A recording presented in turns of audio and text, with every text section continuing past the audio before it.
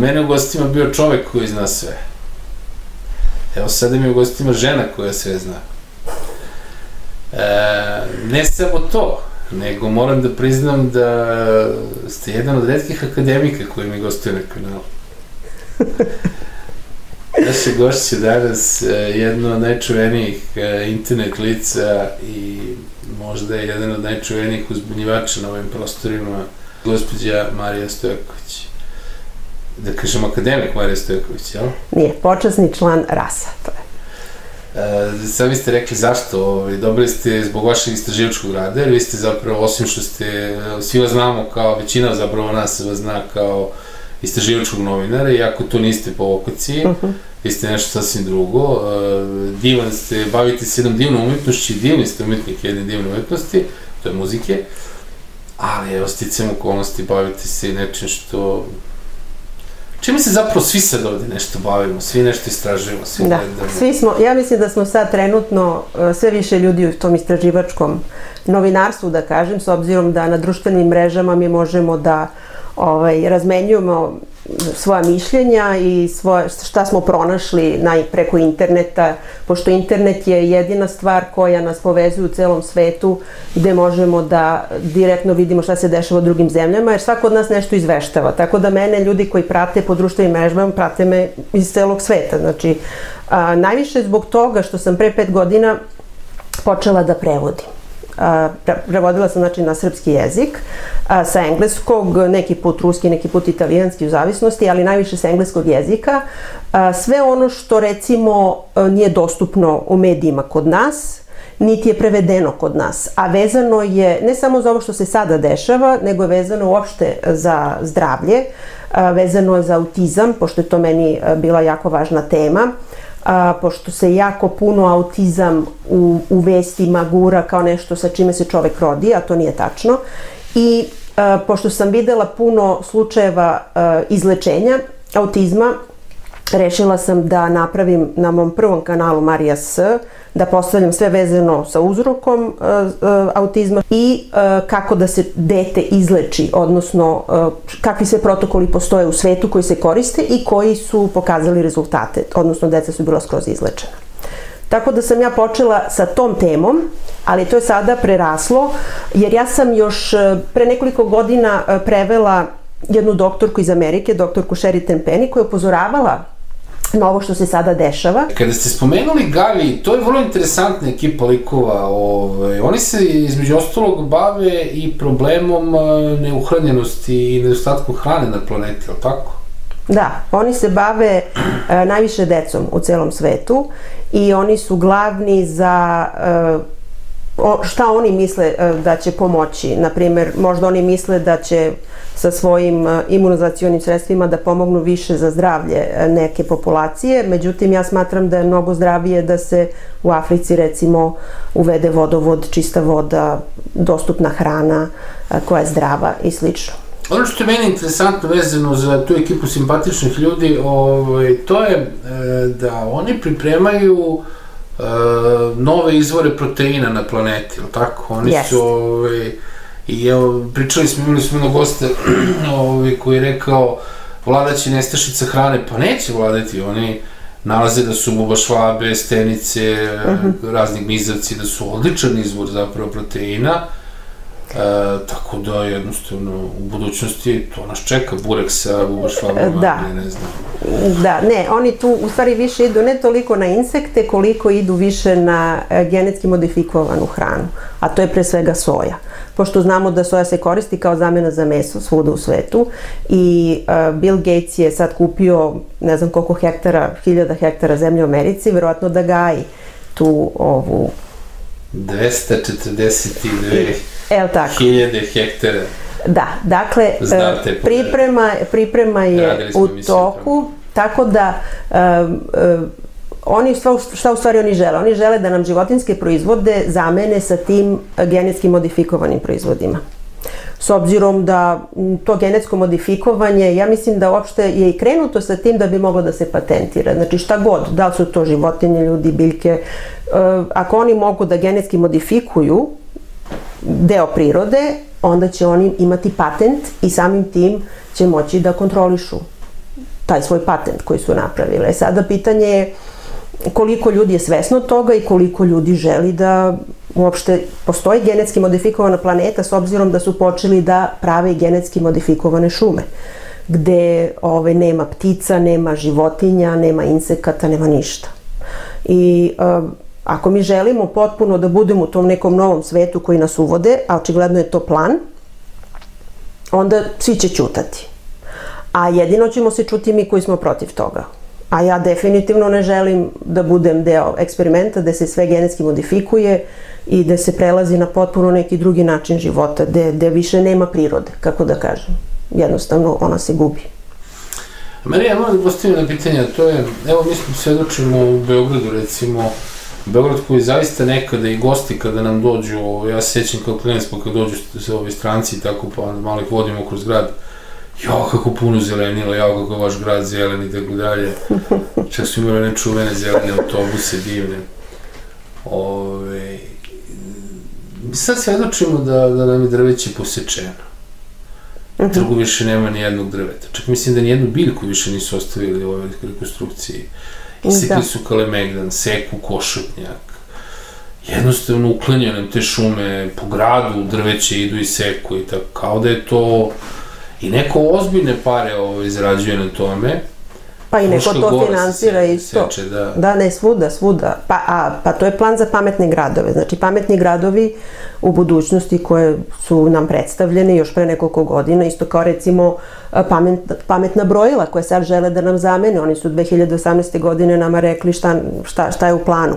Samo ja sam se nadala da u Srbiji do toga neće doći, mislim, međutim sad vidim da je i, i to će, i to će da nam guraju, znači ovo da se uzmu stari i da nam stave te nove, ali mi moramo naravno da damo pristanak za to. Međutim, vezano za sečenje i mislim stvarno ruženje gradova po Srbiji gde, gde stvarno zaista izgleda sad svi ti trgovi izgledaju stravično da bi se postavile te 5G kamere svuda i da bi, da bi mogli da budemo u tim pametnim gradovima Uh, opet kažem, jako mali broj ljudi reaguje na to. Mislim, možda drugi posmatraju, vide šta se dešava, ali prosto ne vidim da se te neke peticije velike, da se ljudi bore, da, da, da jednostavno pokušavaju da zaustave ovo što se nama dešava. Jednostavno prihvataju. Ne, sporadično očuva se neki parkić, ali koliko vidimo negde, očuva se samo na neko vreme i onda prosto opet kreće kuvanje, pa im to uzmu, pa se oni bore na dva, tri mesta u gradu su ljudi ostali srčani Bilo, jest, jest. Imamo još uvek one smešne likove, tipo Ne davimo Beograd, koji još uvek sad one patkice i kakve budalaštine koje više su zgubile svaki smisao.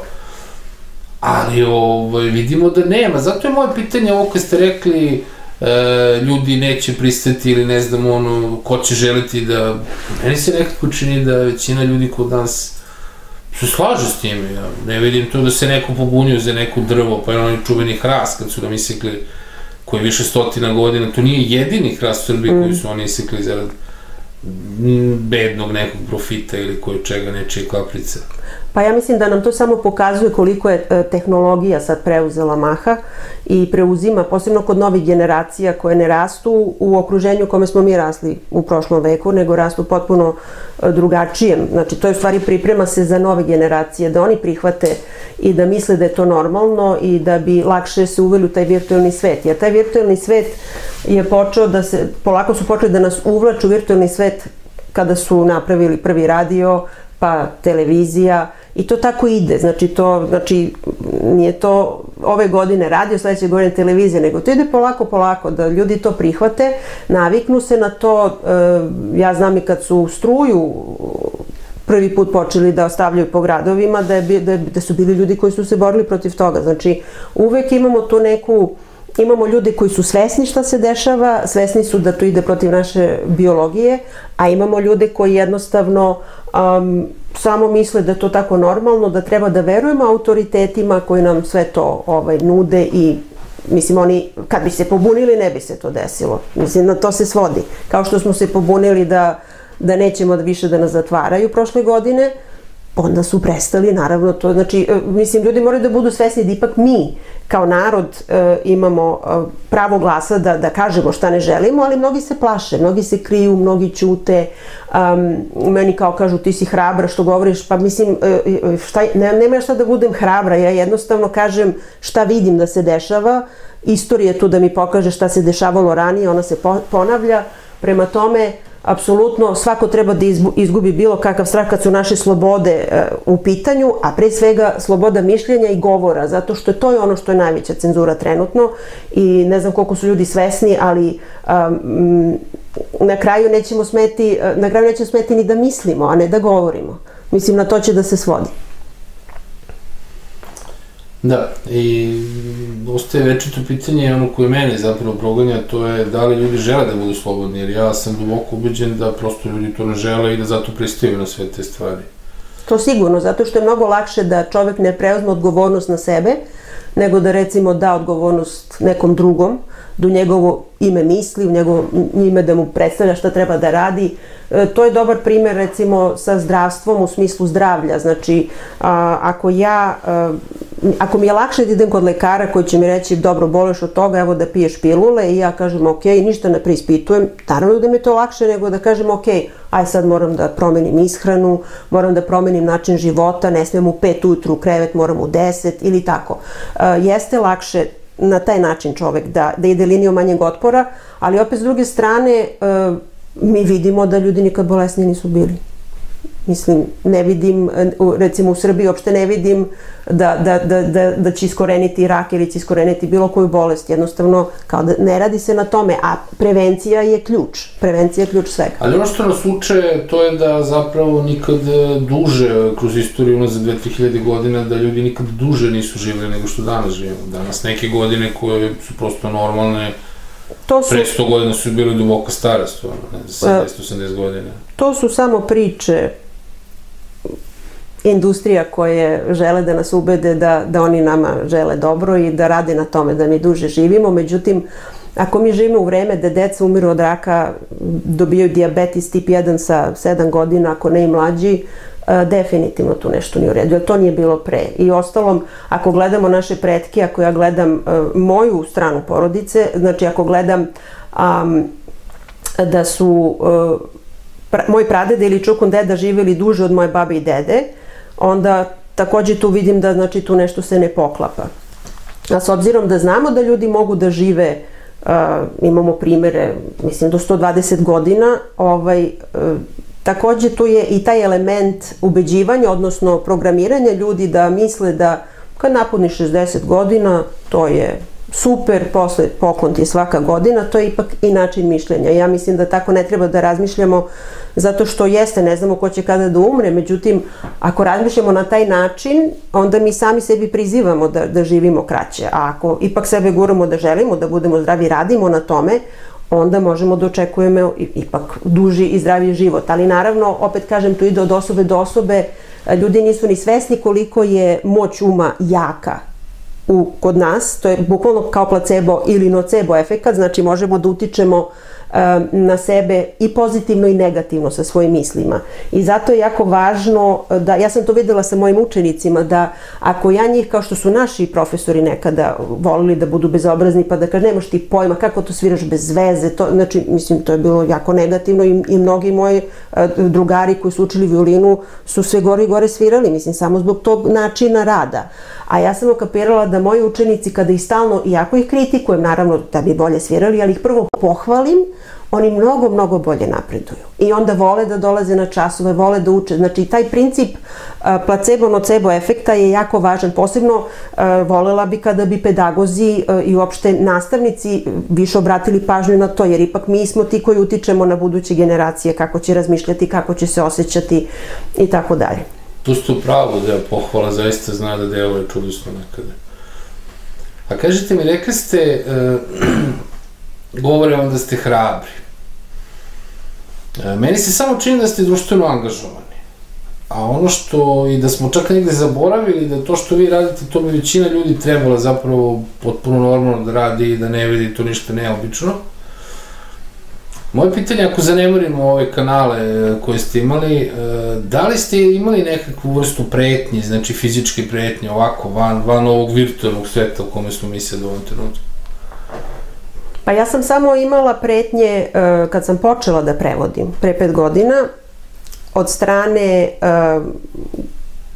grupe jedne sa Facebooka, e, u kojoj su neki lekari i um, neki medicinari, drugi, ne znam, ovaj, oni su kada bi prevela nešto i to, onda bi oni došli, nemaš ti pojma šta ti ja kažem, rekao, pa ja prevodim lekare, ne znam, mislim, to su vaše kolege, ne znam zašto, ovaj, čemu ti napadi, E, ti bolje da ćutiš, bolje da se ne baviš time, nemaš ti pojma, nemoj da lažeš ljude, ne znam, a ja kažem, rekao, ja ništa ne lažem ljude, ja samo prevodim, znači, uopšte, nisam ja lekar, pa sad ja pričam o tome, ja sam, znači, prevodioc koji sluša lekare iz inostranstva i prevodi, i onda su mi pisali neke pretnje, tebe treba ovo, tebe treba ono, ja sam to sve sačuvala, naravno, naravno da sam sačuvala, tako da kad sam bila tužena, pre tri godine da širim laži po internetu, išla da dajem izjavu u policiju, ja sam to njima pokazala. I rekla sam, rekao da vam kažem nešto, e, ja razumem ako su oni plaćeni od neke industrije da, da, da, da ne dozvoljavaju da mi koji istražujemo da iznosimo činjenice koje su očigledne a, a, ovaj, i oni me tuže, znači ti isti lekari, ovaj, e, a ja zaista jedino, ako nešto govorim, ja samo ponavljam ono što sam naučila od tih lekara iz medicinske struke, znači to nisu, oni ih nazivaju šarlatani, ali oni su završili medicinski fakultet i oni govore uh, sa svog gledišta, ali očigledno nisu na nekom platnom spisku pa da lažu narod, kako da kažem, o, o nekim njihovim proizvodima koje apsolutno ne bi smjeli da postoje, ali hoću da kažem um, doživljavala sam te napade, e, sad mnogo manje, verovatno zato što imam puno pratioca koji umesto mene krenu da, da se raspravljaju sa tim, tako da ja više ni ne moram da se raspravljam oko, oko toga šta ja radim i zašto radim, ali, ovaj, ali ja nisam tip koji ima neki strah i koji se plaši bilo čega u ovom životu, jer sam shvatila da ovo sve igra, da ovo sve jednostavno uh, mi dođemo da se pre svega družimo, ali takođe da, da, da doživimo različite stvari u životu. I jednostavno neću da gubim vreme na nerviranje, neću da gubim vreme na, na strah, neću da gubim vreme na, na te neke, na ta neka osjećanja koja e, idu protiv čoveka. Znači jednostavno idu protiv mene i ja znam da to nije dobro i jednostavno sam rešila, znači to čovjek mora da reši, ja sam rešila da, da to neću da uopšte prihvatim kao nešto, da je deo mog života. Ono što je interesantno, kada smo pričali malo pre ove emisije, ispomenuli smo tu famoznu monetizaciju i vi ste meni rekli, e, oni su monetizovali ni jedan svoj video, što je meni bilo, moram da priznam, onako prilično interesantno, jer su to bile preglede, neki su imali preko miliona i tako dalje, za nas koji se bavimo time znamo da je to prilična suma, i da su neki ovaj, ljudi koji se rade ovo za milion pregleda u stanju svašta da nam upetaju. Ovaj, meni je to bilo jako interesantno i to recimo dodatno onako da kažem neka crtica koja dode ovaj, boju u priču i u tu sliku o vama, da zapravo vi niste to radili zato što ste želi zaraditi neke pare na YouTube-u, nego prosto ne. iz nekog verovanja da to tako treba. Ne, ja smatram da istina kada se širi, apsolutno to ne treba bude plaćeno meni, mislim da bi ja širila istinu. A, kao što sam rekla na početku, pre svega sam prevodila vezano za zdravlje, posebno za zdravlje deci i kako deca da se leče. Ali a, što se tiče a, monetizacije, znači iz te grupe koja me napadala, oni su stalno, kada bi negde komentarisala, oni bi rekli, a, ona to naplaćuje, ona to samo da bi gledali njene klipove i tako. Mislim, uopšte prvo nisu moji klipovi, uopšte se ja ne pojavljam u njima, Drugo, ja sam samo to prevela za one koji ne znaju engleski. Uh, jeste, ja sam autor kanala, ali u smislu da ja biram šta ću da prevodim, jer meni ljudi šalju stalno neke klipove da ja prevodim, misle valjda da ja samo za to živim. Ne, ja, ja to jako biram šta ću da prevedem i, i, i uh, moram da ogledam više klipova u jednoj temi da bi izabrala koje ću da prevedem. Znači, to je posao, kako da kažem. A s druge strane, nisam mogla da monetizujem zato što, pošto ja ipak prevodim klipove protiv korporacija, kako da kažem, koje su tu glavne da nas kontrolišu i mi smo za njih potrošači, jel? Ja jednostavno e, ne mogu sad ja da oni meni plaćaju, a ja pljujem po njima konstantno, mislim, ne, prosto ne ide, jel? Tako da, ovaj, bilo je nekih ljudi koji su mi pisali pa kažu, pa znate ti vaši prevode, možemo da vam pošaljemo novac? Pa ja rekao, ljudi, ali ja to stvarno, to nije moja profesija. Drugo da mene neko zove da ja nastupim negdje da sviram ili da pevam. Da, to, je, to je moja profesija. To je drugo, to bi naplatila normalno jer se time bavim profesionalno. Ali ovo prevođenje stvarno, niti ja smatram da sam neki vrhunski prevodilac, niti, niti je to meni nešto Mislim, to je prosto da pomognem ljudima koji stvarno ne znaju engleski. I onda bi mi ponudili, ja im se zahvalim, rekao hvala vam puno, ponuđen, počašćen, rekao stvarno lep, lepo što ste mi ponudili, ja zaista, zaista ovo ne radim i mislim ja ne planiram da se bavim ovim do kraja života, da ja se prevodim sledećih ne znam koliko godina klipove. Mislim, e, ovih pet godina e, dovoljno sam, ja mislim, prevela vezano za sve.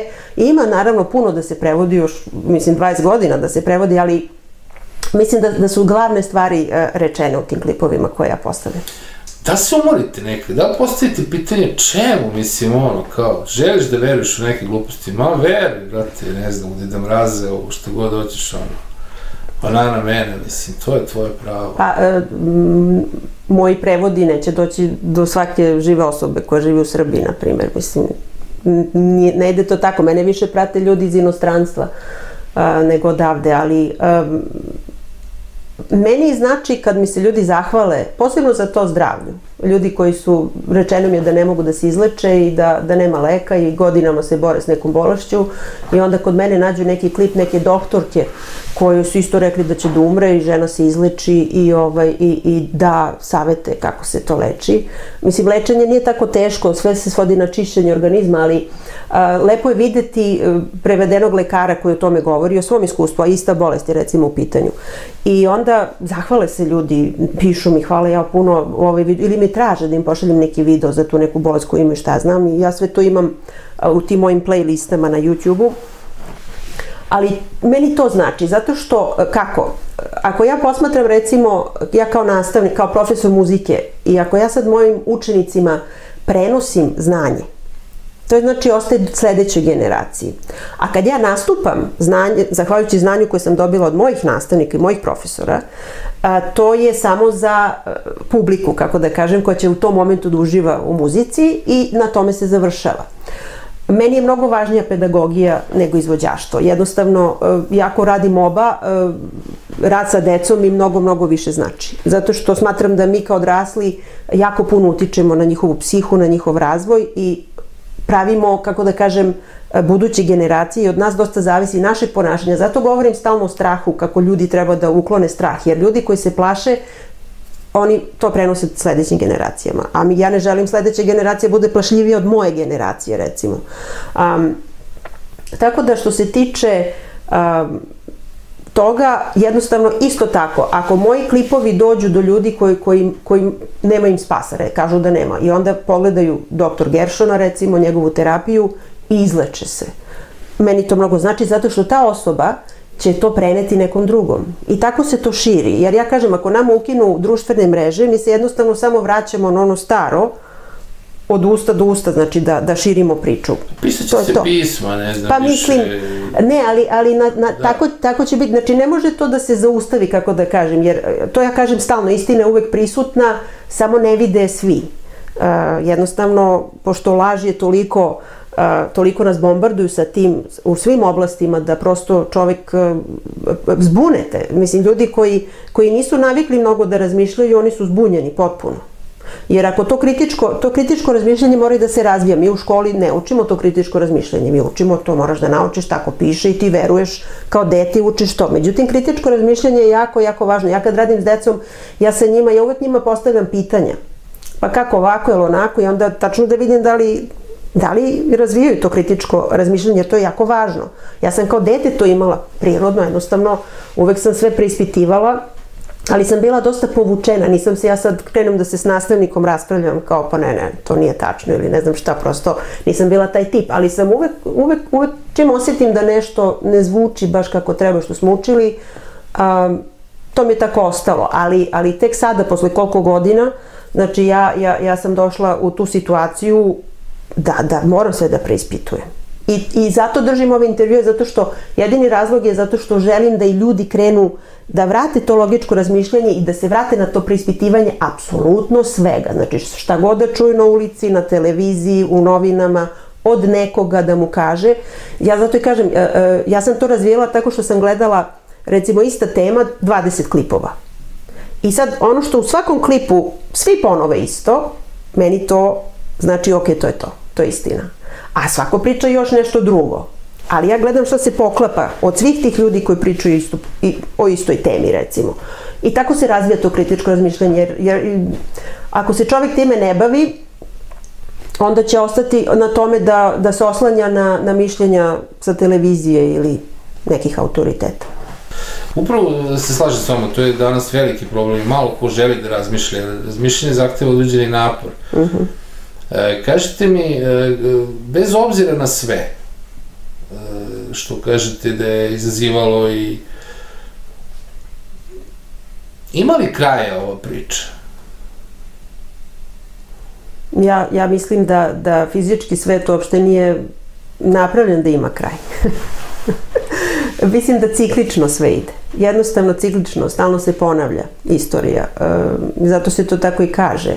I, I uvek se ta istina krene se s lažima dok se dođe do istine. Znači, jednostavno To su takozvane uh, misterije života i ljudi koji, koji, koji vole da istražuju, koji vole da saznaju stvari. Nisu svi takvi. Neki ljudi jednostavno vole da žive svoj život, da imaju porodicu, decu, posao, da jednostavno da im život prođe kroz druženje i kroz rad. A neki ljudi vole da gledaju tu veću sliku kako se desilo pre 100 godina ovo ili kako se desilo pre 200 godina ono, jer stvarno nije ništa slučajno u životu. Prosto neko mora, ako postoje ratovi, neko mora da ih organizuje. Nemoguće da se ratovi sami od sebe dešavaju. Prosto a, nema logike. A, I onda samim tim a, doći do kraja u smislu da se sazna neka istina. Ali ono što sam primetila je da recimo ti koji organizuju nama ratove ili slične stvari, oni nikada ne odgovaraju. Kao da su oni u tom matriksu izabrani da to rade, šta nam rade, da nam to organizuju, ali da se izvuku na kraju. Kao što je bilo vreme drugog svetskog rata kad su nacisti, ogroman broj su ih, odveli su ih uh, u Ameriku da nastave svoja istraživanja i eksperimente i slično i prosto prosto je neverovatno da, da uvek nekako e, e, politički gledano ti koji su stvarno bili ti koji su organizovali da, da ne odgovaraju. Niko nije odgovarao u Americi, nijedan predsednik za bombardovanje ni Srbije, ni bombardovanje Iraka ili ne znam, oni, oni bombarduju drugog svetskog rata, koliko se sećam, skoro, jako često su bombardovali tuđe zemlje, mislim. Uh, Ove, ima cela lista, koliko se sećam. Bombardovanje, to je uđenje demokratije. Da, pa dobro, ali bombardovanje, mislim, taj deo vezano s tim, e, Da, pa da, da, da. I oni brane, šteta, ali ne samo to, ne da samo, ne samo što oni brane demokratiju, nego oni brane i Ameriku, znači to je vrhunac, jer ovi svi u Americi, taj narod, oni svi misle da ti vojnici, da ne idu oni tamo da, da se bore za bogataše, nego idu da se bore za narod. A, mislim, nema veze s vezom, mislim, ja ne znam, ja, ja sam se uvek i čudila to, kad bi pitali nekog vojnika kao pa gde ste, gde ste branili Ameriku, u kojoj zemlji? Mislim, i sad nam ove kaže, ne znam, u Vijetnamu, mislim tako. Pa šta si branio u Vijetnamu, u Ameriku? Mislim, ko je vas napadao? Niko. Ali jednostavno, e, to je to programiranje. Preko televizija, preko medija, izuzetno jako. Ali, naravno, pošto većina je u, u tom transu, da kažem, i veruje šta gleda na televiziji. Svi mi drugi koji ne gledamo televiziju i nismo pod tim transom, mi njima zvučimo kao da nismo normalni. I nema veze ako mi govorimo istinu. Jednostavno ne poklapa se ta istina sa istinom sa televizije, jer oni smatraju da što bi oni nas lagali. To je to uvijek pitanje, a što bi oni nas lagali? Pa zato što te smatruju da si malo dete koje se plaši svega i svačega, vole da te plaše, vide da si kovca i to je to. Mislim, zato to rade. Mislim, e, e, e to ljudi da shvate, zašto oni to nama rade. Ja drugi razlog ne vidim. To je kao kad mi sa malom decom ima ljudi koji umeju da budu bezobredni i vole da se zezuju s malom decom zato što su naivni. I da ih lažu razne stvari da pričaju, ne znam. I to dete poveruje jer veruje autoritetu, jel, nekom starijem, e pa tako oni s nama, mi smo ko mala deca, oni su autoriteti i sad oni nama pričaju bajke i sad ko poveruju te bajke poveruje, a ko ne poveruje, taj definitivno neće gledati televiziju. Imate jedan divan stav koji se meni jako dopada, to je da nam bivši američki predsjednik gospodin Donald Trump nije zapravo mesije. Nije, ne. Sram vas bilo. Da, sramo. Zašto to mislite? Zašto? I Pa zato što e, sam, e, izučavajući ratove prethodne, e, shvatila da organizatori ratova moraju da podele uloge svojim igračima. A s obzirom da je Trump deo korporacija, a nije iz naroda, jednostavno nemoguće je da on je kao brnuo ploču, mislim, prosto ne, to tako kod njih ne funkcioniše. Ali mnogi, ja razumem ljudi koji, koji žele da veruju u, u, da ima neko da nas spasi, po znacima navoda. Nema ko da nas spasi. Znači, ako mi dopuštamo to, oni to tako i gledaju. Ako si glup da dopustiš da ti oduzimamo slobode i to i svi to puštaju, mi ćemo to da vam radimo. Jer oni to stalno, kao što se rekla, ciklično rade. To oduzimanje sloboda govora, što se sada dešava na, na, na, u medijima, to nije prvi put da se to desilo. To se dešavalo i ranije. U fašizmu, recimo. Ali, uh, da li su ljudi svesni da je to deo fašizma, da samo sme da se čuje narativ ovih na vlasti, na primjer, koji, koji nam određuju autoriteti šta se dešava. Tako da što se Trumpa tiče, ovaj, on je, mislim, on je meni inače kao ko, čovek iz korporacije, ja sam gledala par nje, ne, njegove emisije, on ima reality show. Mislim, čovjek ima reality show. Znači, ja sam ga gledala, slušala sam šta govori i meni on bio odmah odbojan. Znači, ono što je, kad je postao predsednik, ja nisam mogla da verujem da, da je on izabran. Zato što... Dobro, ali objektivno bio je simpatični Hillary. To pa, naravno, pa, ali oni nama, ne samo tamo, nego i ovde, oni nama nude te opcije, da mi sad biramo od, od to je ono što kažu, koje ćemo zlo da izaberemo, veće ili manje, ali mislim, što bi mi uopšte birali to? E, na to se svodi. A pošto politika jeste napravljena tako da se obe strane kontrolišu, moraju da se kontrolišu, mora da bude ovi na poziciji i lažna opozicija u smislu kontrolisana. E, mora da postoji ta, ta, jer e, bilo bi potpuno druga priča kad to tako ne bi bilo. Ne bi se ovakve stvari dešavale tako lako. Ali narod, e, e, ja, ja sam to davno shvatila, neki vole da se svađaju oko političara, vole da ulaze u te teme. Ja sam pokušala, pokušala sam da gledam sve te emisije, da slušam što oni pričaju i svat, na kraju sam shvatila to samo bla bla bla, a ništa se ne menja. Apsolutno ništa. Samo se napadaju i da mi kao navijamo za ovog ili onog, ali ništa se ne reši. I dalje se odvija plan i program koji su oni nama namenili. E, I tako stalno. I ja mislim da to je kao, to su kao neki ispiti za nas, da vidimo ko će da padne na ispitu. Znači, bukvalno ponavljaju isto to ciklično, sve te ratove i sve to, i onda gledaju ko će da provali, ko neće. Ko će da vidi u stvari šta radi, ko ne. I onda, ovaj, e, jer to zavadi pa vlada i to znamo da fantastično funkcioniše. Znači, to je jedno od, najboljih načina da se kontroliše velika populacija. E sad ima na sve više i više, ali oni nama i najavljuju kako, kako oni smatraju da to treba, šta će tu biti, e, zato i hoće da budemo tim pametnim gradovima, da, da, nas, da populacija, ono, ne znam, da, da cela Srbija bude u Beogradu, na primjer, i tako, mislim. Radi se na tome, ali ima ljudi koji se bude i oni će otići iz gradova. Ne, neće hteti da pristanu na to. Ja, ja to potpuno razumem. Ni, ni ja, ja koja sam odrasla u Beogradu, e, s obzirom kakav nam je vazduh, u, kakvom okruženju živimo, šta nam, šta nam radi s prirodom u gradu i to mi mene više sad privlači Kosmaj nego Beograd.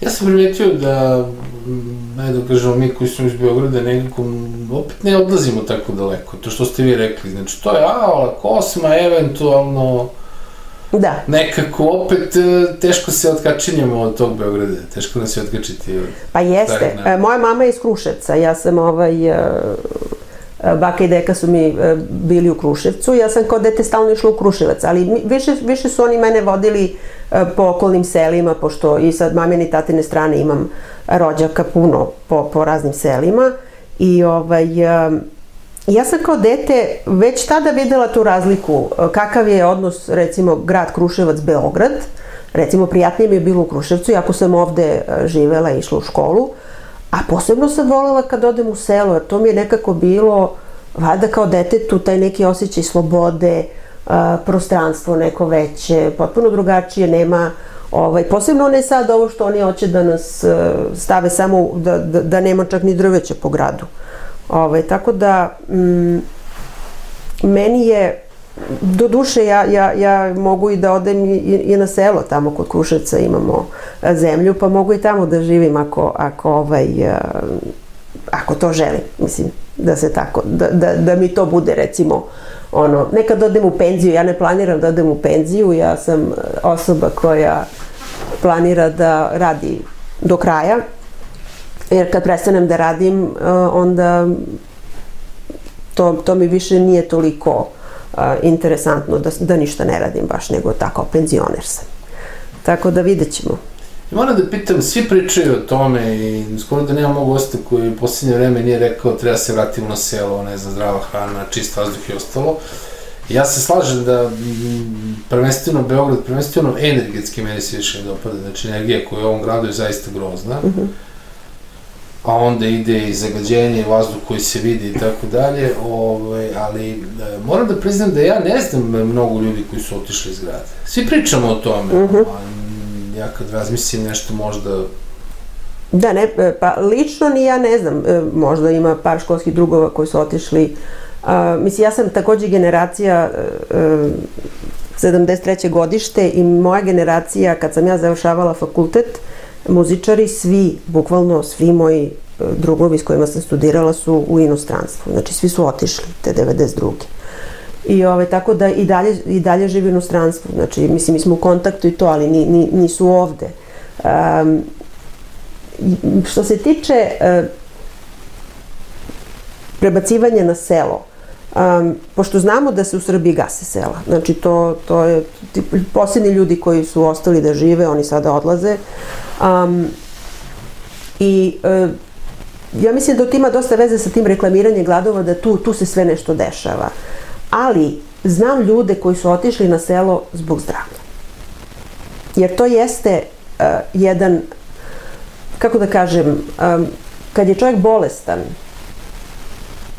ima šanse da, da ozdravi pre u selu nego u gradu. Mislim, to je jednostavno činjenica. Jer ipak, i to energetski, ja sam čula čak ljudi koji su išli um, u Grčkoj na, uh, na Hilandar, da kažu da energija tamo, da to nigde drugde nisu doživali, a tamo nemaju čak ni, mislim, sva ta zračenja koje mi imamo, mislim, u Grčkoj ima, znači, pre nego što se ode na Hilandar, ali hoću da kažem, definitivno i ta zračenja um, utiču i na psihu i na zdravlje, čak i na misli. Um, ja preporučujem svima da, uh, koji žive u gradu, da što više idu u prirodu, gde god košutnja, gde, gde god ada, mislim bilo gde da, da, da šetaju, da, da, da malo posvete se svom telu, kako da kažem, svom zdravlju, a da manje gledaju televiziju posebno vesti. Znači tu uopšte. Nema potrebe, tu nema šta. Mislim, ja znam ljude koji gledaju vesti šest puta dnevno. Ja, ja uopšte ne razumem čemu to. Nešto će da sazna pametno i a, nešto pozitivno, neće. Mislim, znamo zašto služe vesti. Dobro, kada spomenjete, to je navika kao verovatno i bilo koja druga, gledanje vesti ili ko što neko prati kladionicu ili neko yes gleda šta je novo na Instagramu, TikToku, šta god već ima tih eh, Twittera i šta je znam, svih tih ovaj, Facebooku, na primjer, meni je to nevjerovatno. Mm -hmm. Mi stari smo ono kao Facebook i to je to, kao ne znamo za druge platforme, ovaj, meni je to nevjerovatno, ne znam li koji koji non-stop više navise na Facebooku, mislim. Ok, čemu, šta, kao, šta ćeš nešto spektakularno da čuješ? Ali to je onda navika, kako da kažemo. Pa mi smo, mi, mi smo bića navika, to sve. Znači... Ali nošenje mobilnih. Ja moram da pitam svakoga zapravo, ovaj, kada počne objašnjavaju kako je to najveći proizvod u istoriji čovečanstva, rekao, dobro, posvetli me, šta ti je mobilnič promenio život? Pa da, to je dobro pitanje, s obzirom da Mislim na bolje. Nove, da, pošto nove generacije su teški zavisnici od mobila. Znači oni, oni su odrasli s tim, oni sad ne znaju, jer ja kad sam rasla mi nismo ni kompjutere imali još, mislim. Te kad sam odrasla smo, ja sam imala prvi kompjuter sa ne znam, 20 godina. Tad sam imala prvi kompjuter, pre toga ne, nije, nije postojao. A mislim, kod nas ovde, mi nismo učili informatiku, niti ništa, nije, to, to, mi smo učili domaćinstvo, mislim, kako da kuvam i da, i da se bavim tim kućnim poslovima, mislim, to je ok, super, ali nove generacije, oni su im zamenili to, da oni sad ništa, kakvo domaćinstvo, to ne postoji, ali zato informatika, kako da koristi kompjuter, kako da ovo radi ili ne znam šta, to je sada jako važno. Ali, za, i zato su to, e, ja sam gledala neke emisije gde oni pitaju decu recimo da prepoznaju neko voće i povrće, oni deca ne znaju. Ili, ili misle da trešnje rastu u korpi, tako. Mislim... Dobro, to se pričalo i u našem ne. Pa, ali, ali ona čuvena fora da ne znam, ono mleko dolazi iz tetrapaka, Pa da. tako da kravice rastu u kutijama i da. Pa da, ali to je, to je, kako da kažem, jednostavno, kako da nas odvuku od prirode, opet se vraćamo na, na početak, znači, jer ovo jeste izgleda kao borba između a, prirode kojoj mi pripadamo i tehnologije koja nam se nameće, jer oni nam to nameću, nije to tek tako se pojavi. I sad moram da vas pitam, e, šta nas čeka u budućnosti, pošto, kao što rekao smo, žena koja svašta zna i koja sve zna šta nas čeka, šta nas čeka u budućnosti koja dolazi? Ja mislim da će biti isto koji u prethodnim ratovima, znači, pošto sad imamo ovaj rat trenutni protiv nevidljivog neprijatelja, on će trajati dokle god ljudi e, su u tom programu, kako da kažem, i veruju da stvarno neko ih napada ili ne znam. Znači, to, to će trajati toliko dugo dok istina ne dođe e, na videlo, kad, kad se shvati u stvari zašto se sve to radi. E sad, naravno, kao i svakom ratu, meni je to problem, zato što će mnogi da stradaju u celoj toj priči. Jer te igre gladi koje oni organizuju kod svakog, u svakom ratu te igre gladi su obavezne. E, te igre gladi e, koje su tek planirane, one su jako bitne, e, zato ja prevodim recimo neke klipove koje govore, uče nas kako u prirodi da preživimo, recimo, bez problema na zelenišu ili na, nekim, na nekom korenju ili šta god. Znači, jako je važno da ljudi ne budu ubeđeni da ako nema u prodavnici da se kupi mleko i brašno, da će da umru od gladi. Nego da shvate da, da glad nije od nedostatka te hrane koje ja tu, ja tu i ne jedem i ne pijem, ali a, da shvate da, da priroda nama sve daje što nam treba. Mi smo, apsu, o, znači sve dobijemo iz prirode. Kao, i, kao i životinje koje žive u prirodi, znači uopšte nije a, to diskutabilno, uopšte ne može mene niko da ubeđuje da ja ne mogu u šumi a, da preživim sa hranom koja mi je u, u, koje mi je, čak i od trave mogu da, i trava može da mi ishrani. Znači, ali mi to znanje nemamo, nas to ne uče, nismo recimo, mogli smo mi u školi da imamo Što da ne, da učimo recimo jedan predmet o pelagiću, kako se lečimo e, sa, sa tim biljkama, da znamo sve o tim biljkama koje rastu. Jer one su prirodne, one nisu patentirane, a tome se radi. Jer oni, ako oni nam hoće sve GMO, znači da nam zabranjuju koprivu i maslačak, da to kao ne sme se gaji ili ne znam šta, to raste svuda i ovako, meni tu u dvorištu raste, onda ovaj, e, mora da se shvati u čemu je igra. Da onda mi ne, ne možemo da preživimo ako mi nemamo prirodu koja prirodno raste svake godine, imamo sve što nam treba. I, ovaj, i onda i, i ja želim, jer što više čovjek zna o svemu tome, onda oni ne mogu na nas da utiču kako oni žele i da nas kontrolišu lakše i da nas plaše. Jer ako ja nemam strah da ću da umrem od gladi ili imam, ne znam, strah da ću umreti od ne znam čega, onda kako će oni mene da kontrolišu? Ne mogu. Nema, nema šanse kako ali ja zato želim i, i mislim radim na tome da se odrasla populacija probudi što više zbog novih generacija. Nove generacije su izgubljene u, u virtualnom svetu, oni su već uvučeni u to. I zato treba sad njih da vraćamo u smislu da, kao što smo mi nekad živali, mi smo ipak išli i na selo, išli smo u prirodu, znači nismo mi bili potpuno samo grad, grad, grad, grad i samo telefon. To je, to je ono, znači, e sad, šta će, kad će, definitivno deo populacije se već, znači, probuđeni se odvajaju od ovih što još spavaju. Ali da li ćemo mi probuditi i koliko će trebati, ja bih voljela svi da se probude sad. Ali ja znam da to tako ne funkcioniše. Ja znam da to tako ne ide. I znam, i znam iz iskustva od pre čemu ovo vodi. Ali kako ćemo mi sada da ovaj, to, znači sa tom zabranom govora, kako mi sada da da razbijemo tu, te medijske laži koje su konstantno na televizijama trenutno. A, to, je, to je pitanje. Ali da preterujete malo sa tim e, cenzurama i jednostavno ispada da smo mi uvek živali u nekoj slobodi kad je moglo da se priča. Ja kako znam za sebe, postojale su teme o kojima je moralo da se šapuće. Jeste. Postojale su teme koje su bile zabranjene u medijima, pesme koje nisi smeo da pevaš. A, ne znam zašto je sad ovo vreme, sad će opet da me napadnu ovi pametnjakovići koliko je ovo vreme drugačije, ja ne bih rekao, meni je ovo sve negde, samo što je tehnološki mnogo drugačije, uh -huh. no? ali opet je sve isto, opet možeš da, ne znam, pričaš neke viceve, ali ne smeš da kažeš ime nego da praviš aluziju, tako? Da.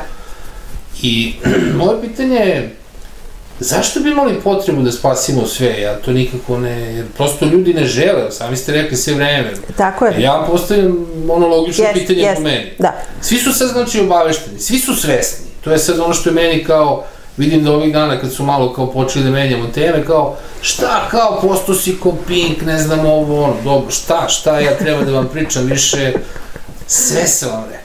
Da. Znači, ne, ne da samo rekli, nego smo pričali o stvarima koje su ljudi pričali prošle, mi smo pričali pretprošle godine.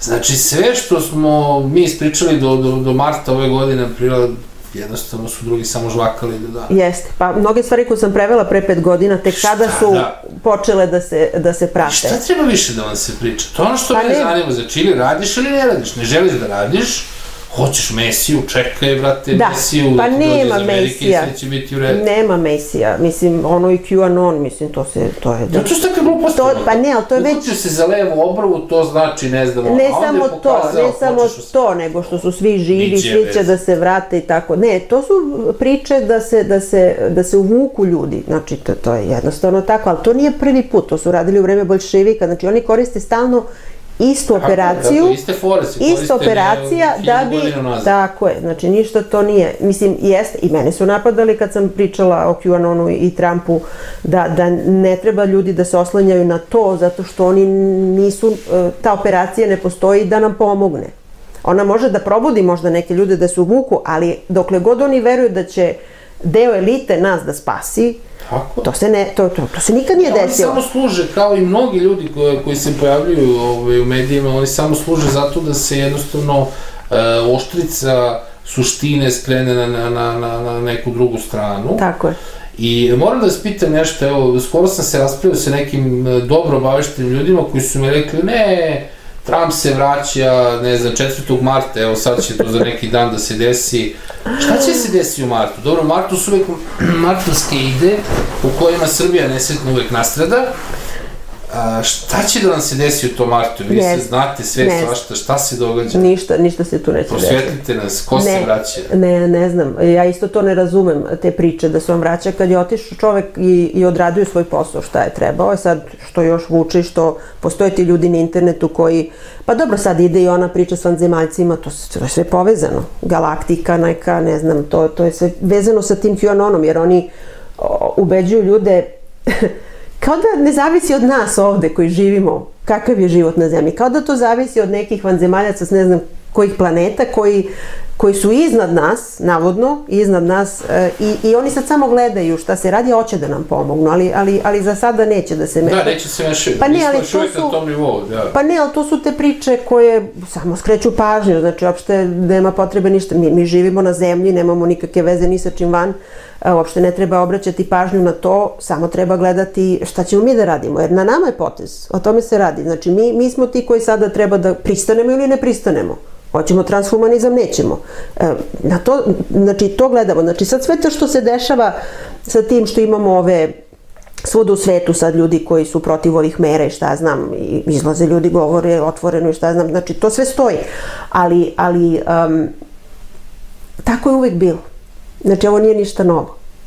Opet kažem, sve se ponavlja. Samo ljudi neki ne vide e, gde su klopke, kako da kažem, koje nas uvode da ne obraćamo pažnju na neke važne stvari, jer svaki put kad nešto u novinama krene neka senzacija, to znači da u tom momentu kada pažnja javnosti ide na to, oni nešto rade iza zavis i pripremaju nešto. To je tako. Sad ste me razočarali, znači u martu se ništa neće desiti, neće nam se vratiti Trump. Pa ne, gde da se vrati? bakice, neće nam doći Melanija da bar gledamo jednu dobru ribu gore. Pa ne znam... Koja je straight, pritom što je još pitnije.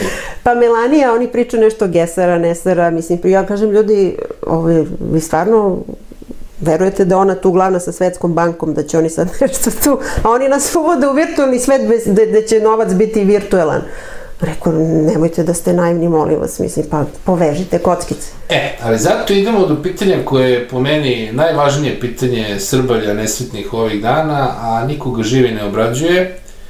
To je pitanje tak, famoznog joba ili jedinstvenog obrazovnog broja. Uh -huh.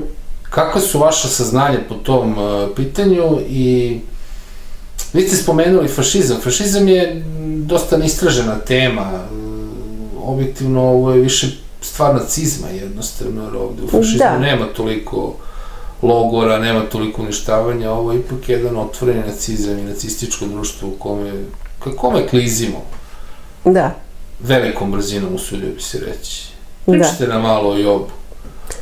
Pa taj broj namenjen za sve nove generacije, jel te, je u stvari namenjen da se lako prati sve o jednoj osobi. Znači, kao, kao proizvod. Ako uzmemo neki proizvod koji ima uh, barkod. barkod, to je to. Znači, nema neke razlike.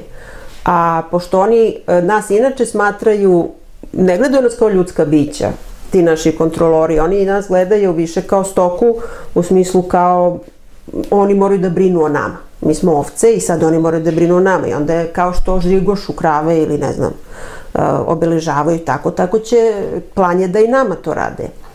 A, ako, ako posmatramo uh, kako i uopšte te lične karte i sve to što oni nama uvode, ti, ti brojevi kad se rodimo, registracija, a, to je sve da bi mi bili deo, kako da kažem, pošto sve su korporacije, mislim, ljudi moraju da budu svesni, sve, sve države su u stvari korporacije. Um, I sve to što narod u koji živi u tim korporacijama, uh, razlog zašto oni idu protiv nas je zato što uh, novac koji mi dajemo ne može da se meri s novcem koje daju korporacije, lobisti, za bilo šta. Uh, znači, to je jako povezano. A pošto uh, S druge strane, oni smatraju nas robovima, jer to se lako i vidi prema tome, recimo, koliko smo mi slobodni ljudi da možemo da putujemo bilo gde na svetu. Nismo. Znači, ja recimo, ako imam srpski pasoš, mogu da idem bez problema u Rusiju, na primjer. Ali ne mogu sa australijskim pasošem. Tek tako da uđem u Rusiju. Sa australijskim pasošem mogu da uđem, ne znam, u, u Englesku. A, znači, oni nas tako dele A tačno se vidi uh, kako oni to nas, mislim ja kažem to logori, ali oni to nas tako podele po zemljama i onda umesto da recimo uh, bude svuda isto, svuda je različito. Pa čak i Australija, znači sama Australija koja ima šest država, znači koje su podeljene, svaka ima svog premijera, Uh, oni potpuno različito sada rade mere, potpuno sve, sve, sve, sve, sve drugačije, a jedna zemlja, jedan kontinent. Um, I ja, recimo, meni to smeta. Meni to jako smeta. Zašto jedni ove ljude smatraju, drži ih kao treći nivo, ovi drugi nivo, zašto nas dele tako? Zašto sad oni nas, uh, ne znam, uh, recimo u Africi šta se dešava tamo? Mislim, uh, uopšte proučavati ceo svet, ako oni, a, oni žele da nas uvedu u taj novi svetski poredak. Oni hoće da nas uvedu da kao ima jedna religija, jedna vlada, da to se bude, da mi budemo ovaj, eh, kako se zove, kak, svi jednaki, znači da nema kultura odvojenih, da, mislim, ne znam kako oni to se planiraju, ali to je plan i program, to definitivno stoji, oni to ne kriju, oni to ne kriju, to se smatralo kao teorija zavere, to, to je, o tome se jako dugo priča, ali um, kako vreme prolazi, sve više i više se vide da te teorije uopšte nisu teorije, kako da kažem. A ovaj taj jedinstveni broj, ja mislim da oni to sve ubacuju da bi lakše kontrolisali. Jer ako budu sad ti svi elektronski, sve na elektronsko, znači bude jedan pasoš, gde ima sve o meni, ali bukvalno sve o meni. I nema veze u kojoj sam zemlji. Oni odmah to provere. Znači nema više, kako da kažem, m, m, privatnosti u smislu da ne može sad u, u školi recimo meni da traže e, moje zdravstvene podatke. Što bi oni u školi tražili moje zdravstvene podatke, na primjer, ili na poslu. Ali oni će napraviti tako da sve to bude povezano i da više nema nikakve ovaj, privatnosti, niti pravo ja kao pacijent ili pravo kao radnik ili ne znam šta. To će sve, sve da se pomeša i sve će biti jedno, plus naravno ono što smo rekli Trumanov show, 5G kamere koje će da nas prate svuda. Znači, jednostavno ulazimo u eru gde da, se gubi privatnost. pitanje je da li je, kada se spominju te kamere, da li je to zapravo smišljeno radi praćenja, što meni nekako je, ovaj, e, Mi smo prac, e, praćenje postoji već unazad više godina i dok nije postojao 5G i zato je meni ta priča o tome malo ne pije vodu kao je sad nas slikaju. Slikali su nas bre i pre 10 godina. Slikaju oni stalno, I ali... slikaju nas i ono, unazad dok toga svega nije bilo. Ali sada je, znači, ali ako sad stvarno postave, a ja, evo kod mene u kraju svuda su te 5G kamere postavljene, pa mislim svuda u Beogradu. Ali ako oni imaju te kamere, onda mogu da me nađu jako brzo. Znači, ono što su kinezi pokazali za dva minuta. Dobro, da, tu se postavlja pitanje zašto svi podaci naši idu u Kinu na obradu i tako dalje, to je sad interesantno, ali Da. ovaj, da se mi ne lažemo u jednoj stvari, to je sad opet pričamo bajke. E, da se mi ne lažemo, ona stara policija nekada Titova isto te nalazila za dva minuta, ma bez problema ako je želo da te nađe. Drugo, e, samom činjenicom da nosimo telefone, mi smo podloži tome da nas lociraju, Ne, pa, znači naravno. metar precizno. To 100%, to, to I stoji. onda priča o tome kako sad nešto su uveli, ma ne, nisu, brate, sami nosimo telefone pomoću kojih nas nalaze, luciraju, prate šta radimo i tako dalje. Zato je meni ta priča uvek malo, kako da kažem, ono, opet je to, čini mi se, skretanje sa druge teme. No da se mi vratimo na taj divni, famozni Job koji, ovaj, zašto se niko nije pobudio? A šta je ono mračno što se zapravo krije iza svega toga? Ako Pa, zanemarimo tu dobru stranu koja je neosporno, donekle postoji. Pa sve se svodi na tu kontrolu, znači kontrolisanje populacije lakše, jednostavno je lakše. A s druge strane, um, ako su nama, mislim što ne mogu da verujem, recimo kad sam živjela u Australiji, a, kada sam dobijala a, vozačku dozvolu, oni pitaju tamo da li želite da budete donor u slučaju saobraćajne nesreće. I sad čovjek mora da se izjasni da li hoće ili neće. Da, A ovde u Srbiji su nam uveli da smo automatski donori tako je. ako se ne izjasnimo da nećemo. A ono što većina ne zna, da donori, kada se uzimaju organi, donor ne može da bude mrtav, on mora da bude živ. I to je vrhunac svega. Znači, oni nas uvode, a mi znamo, Kina, mislim, ja sam gledala dokumentarcu Kini šta rade sa tim organima, oni, oni čak uh, uzimaju te, ne znam, ljude po zatvorima, pa koji ne žele da, da, da doniraju bilo šta i onda i uzmu organ i ubiju ih, na primjer, i takve stvari se rade. A, I uopšte taj biznis doniranja organa, a, to je potpuno, mislim, to je emisija posebna potrebna za to, zato što čovek mora da razume da nama a, tuđi organi nisu potrebni, jer mi sami regenerišemo organe. To ono što ne učimo u školi, to ono što ne uče na medicinskom fakultetu, što je poražavajuće, s obzirom da a, naš organizam je tako savršeno napravljen da on u, u bilo kakvom, uh, znači ja sam prevodila devojku koja je imala nesreću saobraćajnu, polomljena kičma i potpuno pankreas uništen. I onda su lekari pitali roditelja, ona imala 14 godina, da li da uklonimo pankreas ili da ostavimo. Oni su pitali pa u čemu je razlika, kaže pa nema razlike. I oni su rekli ostavite. I devojka, ostavili su te pankreas, međutim, pošto ona nije mogla da jede, ona samo pila sokove. Cedila neke sokove i ona je skroz regenerisala pankreas. Potpuno. Onda imamo primere lekara koji leče ljude koji čekaju transplantaciju srca, leče ih isto sa ishranom. Znači, um, ali zašto se o tome ne govori u medijima? Na primjer, zašto se to ne širi dalje? Pa ima objašnjenje za to. Zato što e, mora da postoji određena metodologija u istraživanju. Znači, ne može jedan slučaj da tr bude apsolutna tvrdnja za, za nešto. Mora da se, tako, istraži više slučajeva. I zašto se ne istražuje? Mislim, i to je sledeće pitanje.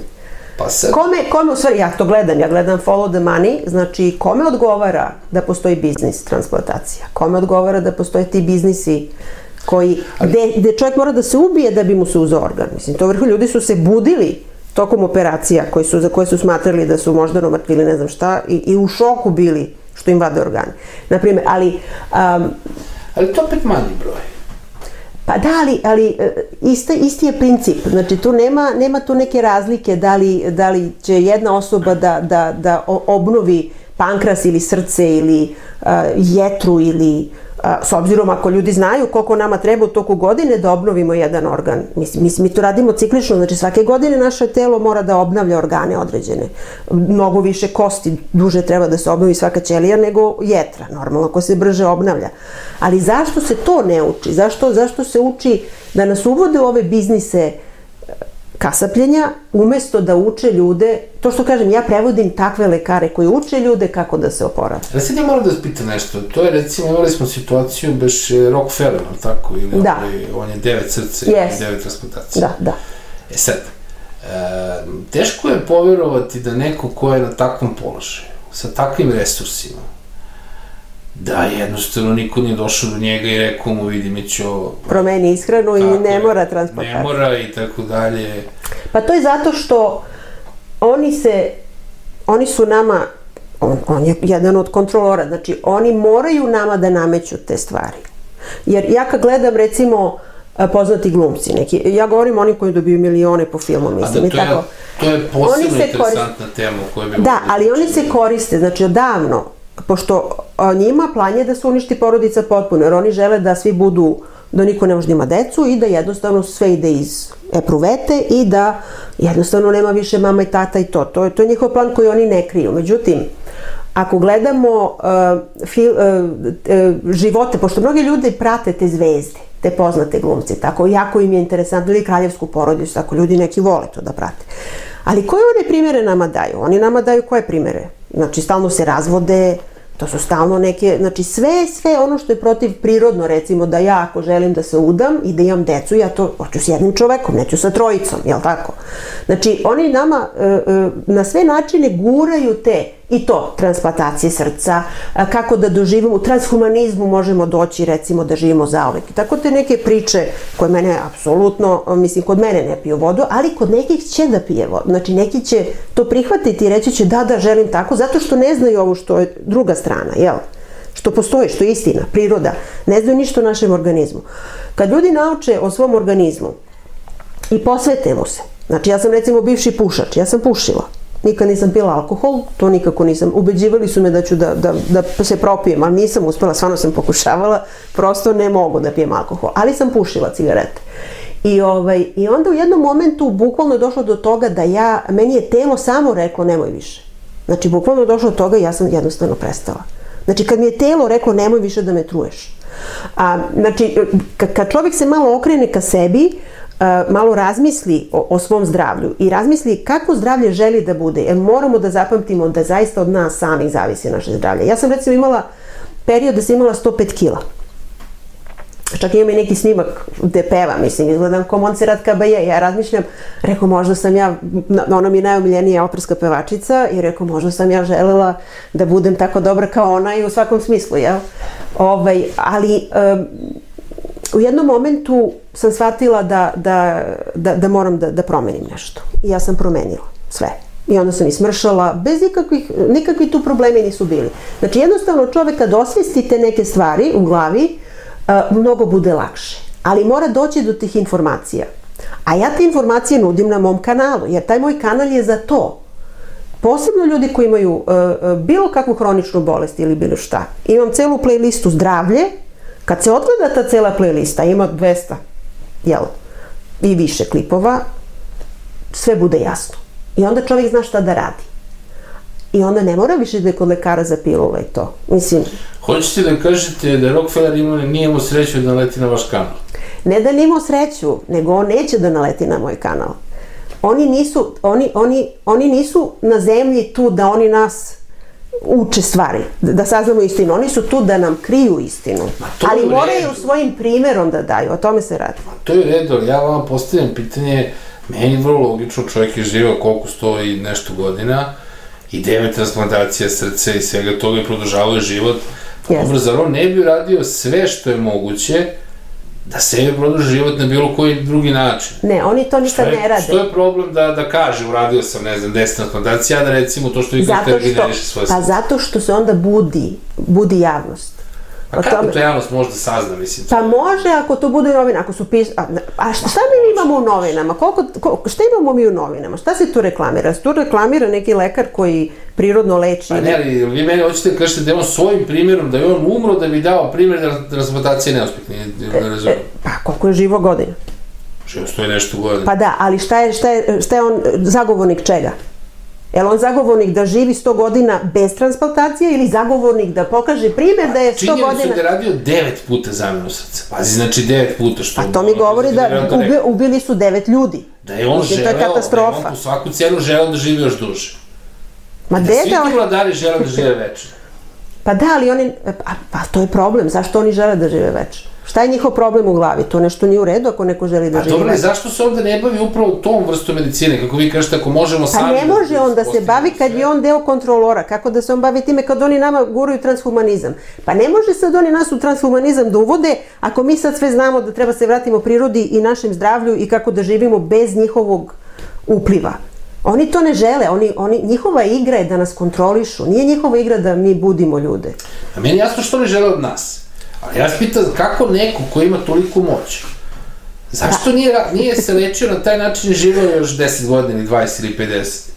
Jer ovo je nastavak za Da, ovo je okej. nastavak priče koje smo mi imali pre Da, da, ok. Zato što ti kontrolori, gde spadaju te elitne porodice, kako kažem, bogataši, ti naj, naj, naj, naj, koji postoje generacijski, jel, oni se međusobno uh, venčavaju i slične stvari, oni su zaduženi u ovoj igri u kojoj smo mi trenutno učestvujemo i stalno učestvujemo.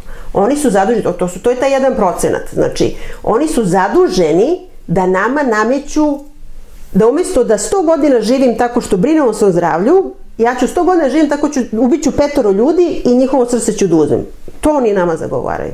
A ja to neću, to je taj satanizam. Ja to neću da prihvatim. Ja, ja neću budem deo toga. Oni mogu da mi nameću. I taj čovjek je bio primjer toga. Ali ja to ne prihvatam. O tome se radi. Ali ljudi će neki prihvatiti pod uticajem.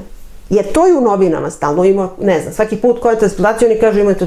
Neće tu da bude lekar koji kaže, e, ajde sad da kreneš da postiš i da brineš o svom zdravlju i da prestaneš da razmišljaš o, o, o glupostima. Neće to biti. Prosto je nemoguće. Kako?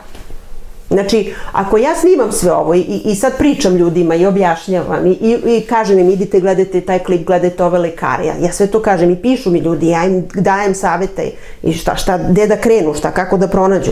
Ali ja nisam, šta bi bilo kad bi ja bila RTS svaki dan, na RTS-u? Svaki dan, sat vremena ja pričam narodu, mislim, i dajem, i dajem savete. Pa bili biste ženska varijanta doktora Nestorovića. Pa, dobro, on nije svaki dan na RTS-u po sat vremena, ali hoću da kažem da stvarno se dopusti i kažem svaki dan puštam klip jedan sa mog kanala. Šta bi se desilo u roku od mesec dana? Koliko bi se ljudi koji gledaju RTS probudilo? A koliko ne bi? Na primjer. I da li sme tako nešto da se dozvoli? Jer ja, meni kad su rekli uh, da se ubacim u kanal Happy televizije da kažem da se javim da kažem stranu ne, ne, o priči nešto gdje je bio taj lekar što me tužio, ja sam rekla, rekao, nemojte mene, rekao, čovjek će da napusti studiju, nemojte mene da zovete. Ona kaže, ne, ne, ne, ne smem onda vas, znate, mi, mi moramo, ja rekao, pa dobro, ali treba i drugu stranu da zovete, stvarno nije u redu da samo slušamo jedne te iste, plaćene, mislim. A ona kaže, da, da, hoćemo, hoćemo, zvaćemo, mi isto postoji. Aha, rekao, hoćete, hoćete, malo sutra. Mislim, nema šanse. Znate šta je tu problem? Tu sad dolazimo do drugog problema. E, to je da oni koji gledaju moraju da razumeju na to, taj happy i postoji da bi izgledao da je bolji od RTS. A on zapravo priča iste priče, samo što Jeste. ljudi ne kapiraju. Tako je. Nema gosta koji tamo gostuje i priča drugačije. nema, ali ja kažem, ali ona mene ubeđuje novinarka. Ja kažem, rekla, vi to ozbiljno. Vi, vi stvarno mene ubeđujete, kao da ja ne znam o čemu se ovde radi i kako to sve funkcioniše. Rekao, nemojte, molim vas. Pa da li većina ljudi ne zna? Vi biste isto imali tretman, Da. ovo što mi kaže šta bi se desilo. Pa ne bi se ništa spektakularno desilo. Bili biste mainstream doktor kao doktor Nestorović, svi bi vas voli, gotivili, vidi ove priče nešto drugačije, Da. ali bi se generalno Ali, ali, ali da, ali ta, da li bi taj, tih sat vremena napravilo neku razliku? Da, samo recimo sat vremena se poštuju ti klipovi prevedeni. Tih sat vremena u odnosu na ne znam koliko puta dnevno imamo vesti. Šest puta, otko znam. Na primjer. Šta bi bilo kad bi bilo? Mislim, Ali to je problem, zato što kako, kako istina da se bori protiv laži? Teško. A prisutna je. Znači sve ovo što ja govorim, to je prisutno, to nije, ništa ja to ne izmišljam. A da li, e, opet mi niste odgovorili na pitanje, ali neću insistirati na njemu, ovaj, ali samo ću da prokomentarišem, da bi zaista to što vi pričate, i to što ti ljudi pričaju, e, slažem se ja da, da organizam, organizmu se mora dati šansa. Da. Slažem se ja da, e, pošto se bavim kulinarstvom, ja sam generalno protiv bilo kakvih e, začina i hrane koje nije sa naših prostora, ne zato što sam ja nacista, nego zato što generalno mi smo rođeni ovde i našem organizmu, vazduhu, vodi se, isprobavao sam, pa pričam na osnovu nekih e, činjenica, ali to je sad opet za neku drugu emisiju, nama najviše prija ono što je s ovih prostora. Da, normalno. Ali, sve i da recimo se vratimo 200 godina, 300 godina nazad, kada nije bilo uh, ni, da kažemo, chemtrailova, ni 5G-a, ni bilo kojih trovanja, ali tako, opet ljudi nisu živjeli po 200 godina. I živjeli su, radili su, bili na čistom vazduhu, jeli tu zdravu hranu, nije bilo GMO-a i tako dalje i tako dalje. Pa živjeli Opet nisu živjeli 200 godina. Nisu 200, ali su živjeli 100 godina. Mislim, Pa malo koji do ovde, pa, pa, evo, pa, pa, zavisi od čoveka, znači sve se svodi na to. Ima ljudi koji žive 120 godina. Ali, šta, šta, šta, trovanje je uvek bilo. Mislim da se tu ne lažemo. Trovanje je uvek bilo. Mogli su oni da truju otrovi su uvek postojali. Nije to sad da je potrebna specijalna trovačnica i, i, i neka industrija da nam pravi otrove. Otrovi su uvek bili tu, prisutni, prisutni. Ali što se tiče načina života, to definitivno, danas vidimo tu razliku, imamo i dalje plemena koje žive odvojeno od načina koji mi živimo. Pa Ili, žive večno, ne žive. Pa imamo razne primere ljudi koji žive po 100, po 120 godina na taj način. Znači, može, da li može. koliko su, kako da kažem, imamo najviše ih ima tako na Kubi, ali toliko ih malo ima, da je to zanemarljiv broj. Ali zašto ih ima malo? Zašto deca danas tako mlada umiru? Na, mislim, na to treba da se koncentrišemo. Meni je to, meni je to glavna tema. Meni su deca glavna tema zbog budućnosti. Jer njima... se samo slažem, ali budimo realni, ne znam, koliko je vaša čukumbaba ili moja rodila dece, koliko je preteklo? Ja znam ljude, e, ja sam u Australiji imala učenike, majka rodila osmoro dece, znači u Australiji sada, u prošlom veku. Znači, a, a, zašto su svi pretekli, a tad nisu? Mislim, i te priče su mi malo sumnjive. Šta se to dešavalo tad? Da, da nisu pretekli, a danas može da ima osmoro 20 rodku, znam, mislim. A, šta se to promenilo? Znači, uvek gledamo u okruženju. Nešto se dešava u okruženju što utiče na to. Nemoguće da je tada, šta je to tamo bilo drugačije, pa su umirala deca, nego sad koja stvarno su trovane. To ne znam, ali evo ja sad ako kažem recimo, ne znam, možda su bili neki nehigijenski uslovi, ćete kažete mikroorganizmi ne postoje. Ne, mikroorganizmi postoje, oni moraju, mi bez njih ne možemo da Odnosno, živimo. Odnosno, postoje kao patogeni, neće, Da, neće, patogeni nas, neće ne, nas ovaj ne, zaraziti. ne, ne može, ne, mislim, nema, mi smo, oni, mi smo, oni su deo našeg tela, ne, mi ne možemo da ih se otarasimo, oni su Dobro, tu. se onda na kraju ubija prome. Jesu Srbi onda u pravu da se najviše gine od prome i od, i od ladnog metora? Pa opet se vraćamo na, na naš način razmišljanja. Znači, e, e, ima ljudi koji kad neko kine na televiziji odmah se razbole. Znači, prosto, to su ti neki okidači gde um kontroliše šta se dešava u, u, u, znači, u telu biološki. Jednostavno, ja nisam taj tip. Meni mogu da ovde sad kijaju, pljuju, da me vode u COVID bolnicu, da budem tamo sa svim tim bolesnima. Ja se neću razboleti zato što uopšte znam da, da nema šanse na taj način da se ja razbolim. A znam kako mogu da se razbolim. A ima ljudi koji samo gledaju to, uopšte nisu prisutni i razbole se. Pa koliko se znači, stavlja na um, koliko je naš um jak i koliko određuje mnoge stvari u našem životu i naše razmišljanja. A ljudi nisu svesni. Dovoljno da nešto kao deca razmišljamo, pa to da utiče 30 godina kasnije u našem životu. Mislim, sve je povezano. Ali, ali sklopiti kockec, ja znam da nije lako, ali čovjek mora da krene da razmišlja na taj normalan, zdrav način, da bi mogao da pohvata šta se dešava. Ma dobro, upravo ste vi, ja samo sam postavio pitanje, prosto mi je neverovatno da nemoguće da su svi, kako da kažem, loše guma i da onda desi se nešto i odustanu u 120. godini, što ne govori do 140, 180, 200. Kao Pa ne prvi žele. ljudi, kažu da je organizam Ne stvoren žele. lagano da živi više, više, Ne više žele, ne žele. Ja mislim pa... Postoje neki dokazi, recimo treće detecija, ne znam, ono, znači da se organizam zaista, kako vi kažete, podmlađuje i da na 120 godina se vrši reset, da živimo još 120, znači 200 i nešto godina. Pa recimo ako ja želim da živim desi? 120 godina, na primer, Dobro? ali da bi ja živjela 120 godina, znači to je jednostavno, recimo želim da što više dajem znanje novim generacijama, jel tako? Smatram da treba da postoji neko ko će da utiče na njih pozitivno, da, na pozitivnu stranu života. Ali recimo, ali šta ako svi koje ja poznajem i koje znam nisu živi više? Što bi ja želela živim 200 godina? Mislim, i tako. Mislim, sve to povezano. Znači, jer život jeste prolazan i, i, i vreme samo postoji u fizičkom svetu. Ali, e, ta, da čovjek živi, mi kao duhovna bića živimo večno, to je cela priča. Mislim, na to se svodi, jer oni nas plaše da mi kad umremo to je kraj, nema ništa. A to nije istina, to nije istina. Ja sam doživala kliničku smrt kao dete i doživala sam da napustim telo i da jednostavno vidim da, da, iako sam van tela, da sam i dalje živa, kako da kažem, postojim. A, ali kad sam se vratila u telo, bila sam u telu. A to mi se samo jednom desilo kao detetu, ali ja sam to tada povezala, mala sam bila, ja sam to povezala i shvatila o čemu se radi. I onda posle kad sam čitala knjige od drugih ljudi koji su živali kliničku smrt, koji su napustili telo, vratili se ili ne znam šta, a, meni to nije bilo strano, jer sam ja to lično doživjela, ali ja zato i nemam strah od smrti. Jednostavno sam doživjela da napustim telo i vidjela šta se dešava kad napustimo telo.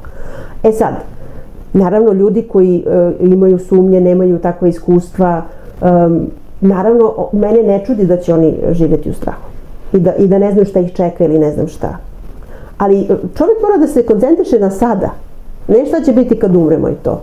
Pošto se ništa ne da kad umreš ti odeš u duhovni svet i to je gotovo, ali fizički svet je važan, jer tu je igra.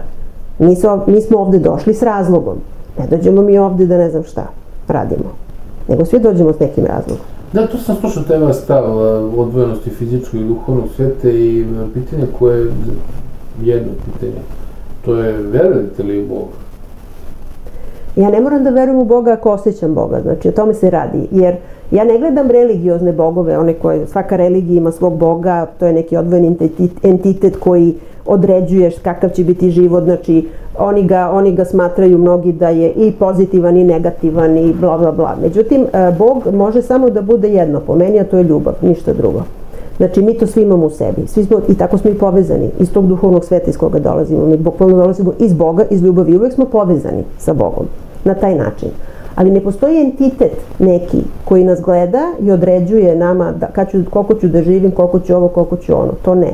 To su, to su religije, znamo i sami da su pravljene da bi se ljudi prvo međusobno borili i svađali koji Bog je pravi, koji nije i ovo i ono. Tako da ta pitanja da li verujem u Boga ili ne znam da li verujem ovo ili ono, ja jednostavno e, za neke stvari nema šta da verujem. Jednostavno ili postoje činjenice ili, ili imam neko iskustvo vezano s tim ili ne. Znači to je nešto lično vezano sa mnom. Znači ja ne mogu sad da ubeđujem ljude da svi misli ko ja i da imaju isto iskustvo kao ja, to je nemoguće. Ali ja, eto, evo ja kažem šta su moje iskustva i koja su moja zapažanja i kako ja, to, kako ja gledam ovaj svet. Jer je vrlo važno kako se živi. Da bi čovjek dobro živao u životu, mnogo je važno kako razmišlja. Znači, to je osnova svega. Mislim, i ima jako puno primjera i iz prošlosti i, i sada koliko to utiče na život osobe. Znači, ono što kažu, da li je čaša polupuna ili poluprazna.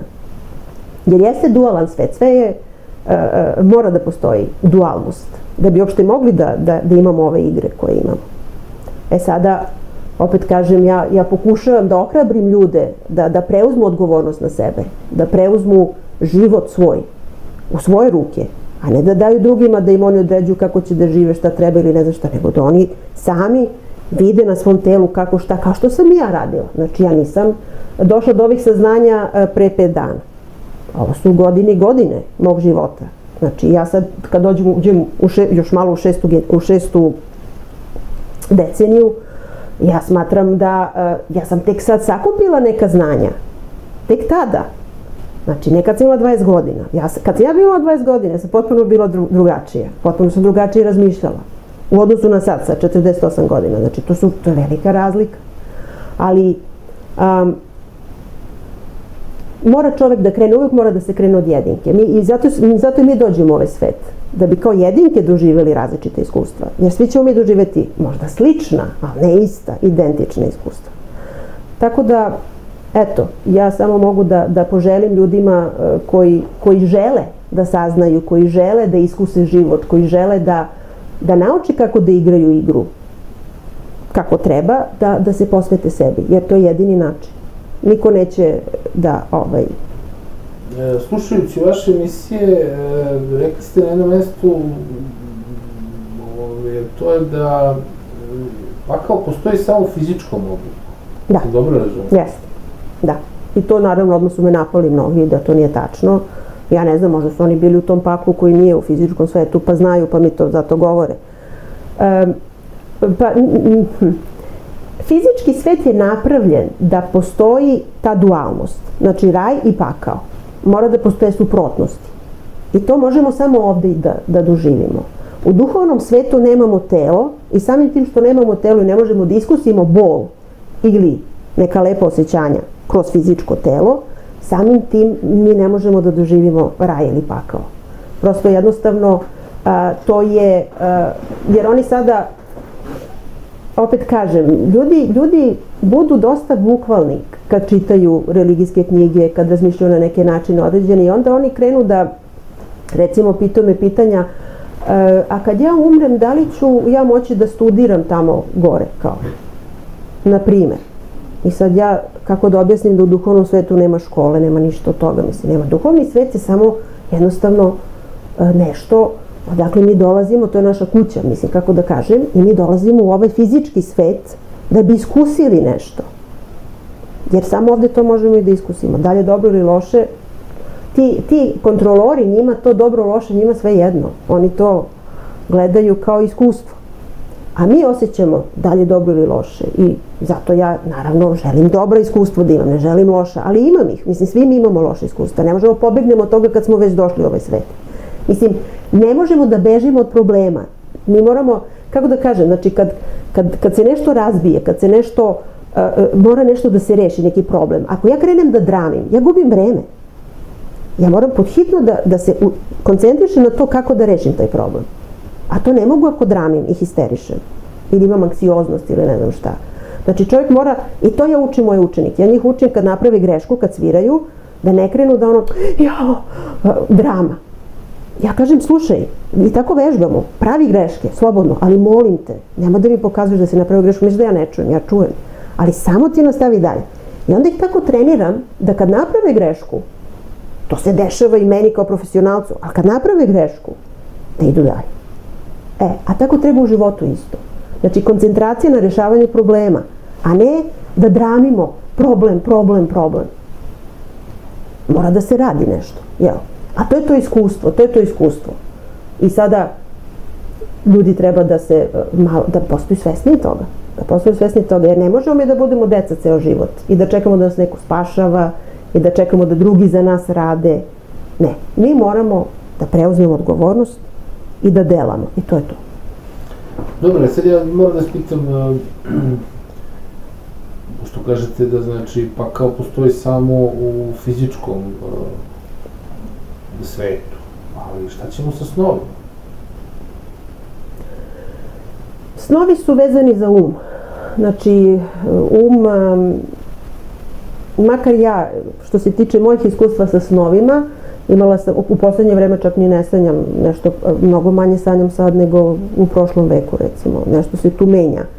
Um, znam da ljudi, recimo, imaju snove koji mogu da predskažu neki događaj znam da postoji, ali mislim da je to vezano, ti snovi su vezani dosta sa, samo sa životom, znači koji trenutno vodimo u fizičkom svetu. To nema veze uh, ni sa duhovnim, ni, ni sa čim drugim, nego vezano bukvalno uh, sa dešavanjima ovde. Jer uh, ja sam u snovima komunicirala, recimo kad mi je baka preminula u Australiji, ja sam bila ovde ovaj, ona mi je došla u snu i javila mi je, bukvalno mi je rekla da će recimo moj ujak da dođe i, i stvarno se to desilo. Znači, znači imala sam i takve takve vrste snova, imala sam snove gde sam preživljavala nešto što mi se desilo, a, pa se ponavljalo nešto iz prošlosti. Znači snovi kao snovi um, znam mnogi koji imaju noćne more. A najgore od svega deca.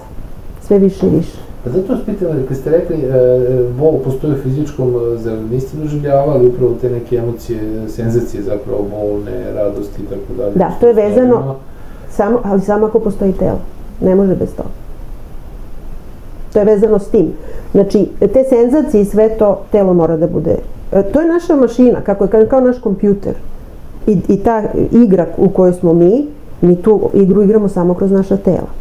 E, doživljavamo svet, kakav ga vidimo. A, ako se nešto poremeti, mi drugačije doživljavamo svet, ne vidimo isto. To sam isto prevodila jednu doktorku koja je imala moždani udar.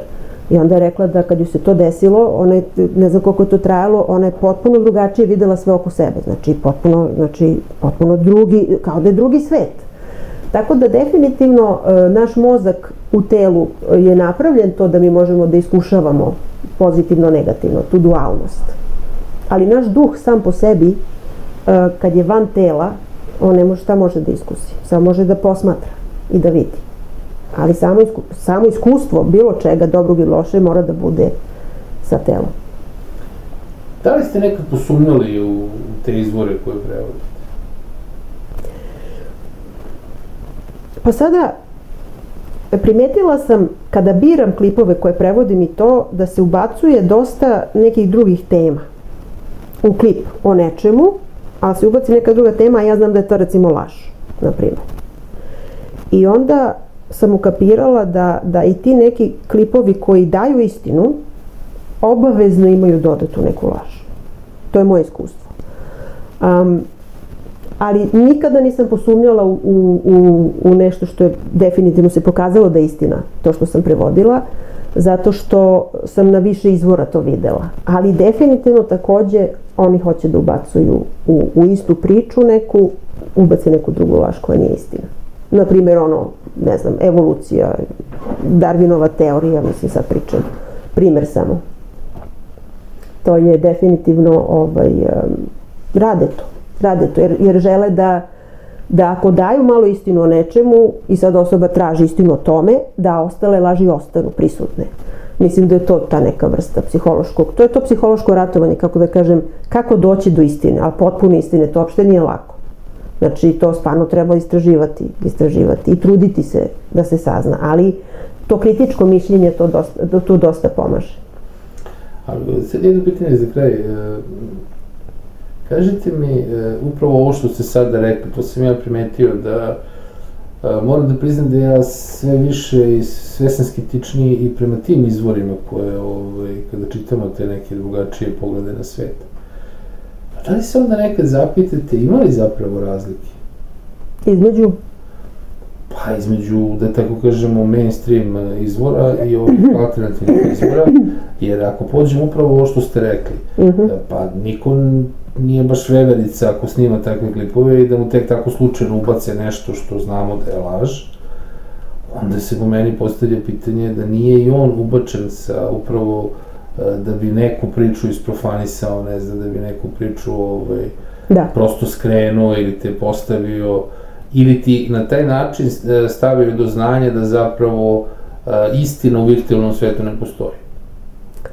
Ja mislim da u tim nekim, to je ta takozvana kontrolisana pozicija koja govori istinu, a, a neke stvari ubacuje da nije istina i pošto igra koja nam je nametnuta od kontrolora, oni nama nameću i laži istinu. Samo što nam istinu daju recimo u, recimo desi se da nam kažu nešto istinito u tri ujutru u nekim vestima, kod niko ne gleda, pa ako neko vidi i slučajno snimi, onda ćemo mi svi saznati da je to bilo. A neće više to ponoviti, tu istinu. A nešto će, reći će neku istinu. Mislim da oni imaju, to je ta, to je ta njihova igra, ja to zovem, to su te njihove igre, da kažem, bez granica, gde oni nam nude jedno i drugo.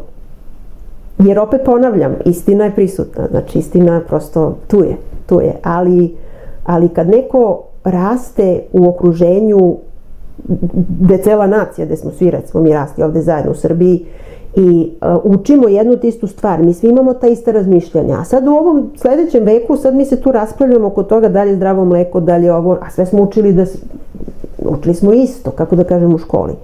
Um, ali dolazimo sad do drugih saznanja da to možda nije tako, da možda razlog što ovde puno ljudi nema zube posle 60 godina i tako da možda ima veze s ishranom, da možda to nije ipak e, to što su nam pričali da je mleko, kalcijum najvažniji. Znači ja sam tek sad skoro saznala da, da kosti naše se ne, ne prave samo od kalcijuma, nego 12 minerala i to mora da bude određen odnos da bi zdrave kosti bile, a ne samo kalcijum.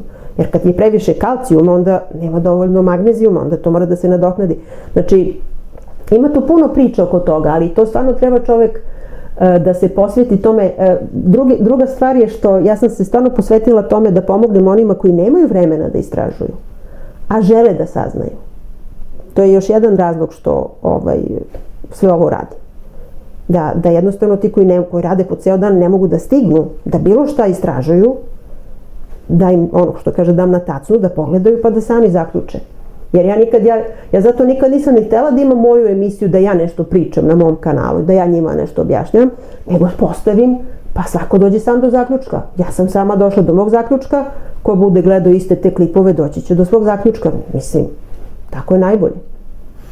A možda je to sledeći nivo, da se to digestiramo, kao što sad mi pričamo i u par minuta sažmemo, ne znam, neke decenijske da. istine, možda je to sledeći nivo ko će da se bavi da gleda 200 klipova. Pa neće, neće, eto ja ću. e, da se ne nađemo, mislim, da, to stvarno ja treba biti posebno ovaj, ludak da bi se da. bavio. Ove, pa znam, zato što potpuno se razumem to što ste rekli, znači ja znam kada spremam neku temu, znači gledam čudo toga, yes. bukvalno 24-7 si u tome, I onda kad se pojavi neki genije, kao nemaš ti pojma, kao ma da, važi, kao ti će da naučiš. Ove, Pa ne, ja ne reagujem na to kad to... neko kaže kao šta si to stavila, ne, ove, lupa ili ne znam. Ja, meni komentarišu isto i tako za te lekare koje prevodim, ima svašta, mislim svako reaguje. Ali sad ja nekim odgovorim moje mišljenje, a nekim pustim jednostavno. Neću da ulazim u tematiku, vidim da je rešio da nije tako što je taj lekar rekao i mora ovako, kako je drugi neki rekao i tako. Tako da opet gubljenje vremena da, da se previše, ja sam, ja sam u početku dosta gubila vreme s tim što su me napadali, da, se, da im objašnjam, ja njima nešto objašnjam, a oni plaćeni da me napadaju, mislim. Šta sad ja njima da objašnjam, mislim. To, ali, e, neka, neko me pitao, što si se toliko raspravljala, što gubiš vremena na društvenim mrežama da raspravljaš? Rekao, zato što znam da mnogi čitaju, koji nisu u toj temi, pa će im biti lakše kad pročitaju naše, naše, našu diskusiju, pošto ovi mene vređaju, to je njihov argument, oni mene napadaju. Ti si kokoška, ne znam, to lekari. Mislim. E, i onda kad ljudi pročitaju, odmah je jasnije o čemu se radi.